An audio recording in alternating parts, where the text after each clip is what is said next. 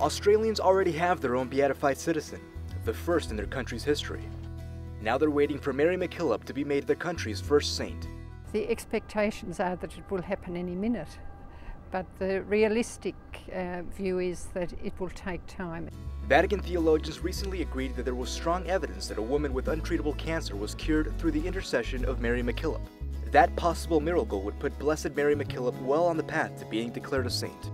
The family and friends got together and they prayed to, to Mary MacKillop, and the lady, from being bedridden and to totally unable to do anything for herself, was soon better.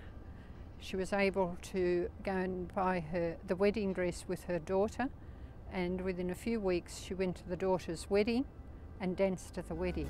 Maria Casey is the postulator for Mary MacKillop's case. She says that though the canonization will take time, everything is well underway for Australia's first saint to be celebrated.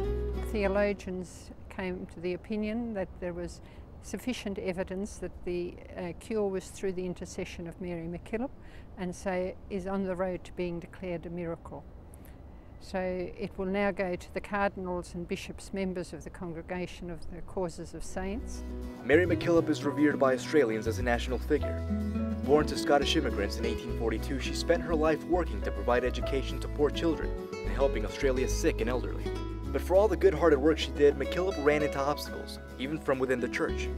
She had a lot of people who were against her, who did some vile things, she was excommunicated from the church. She was never bitter about those people. In fact, she forgave them from the moment these things happened.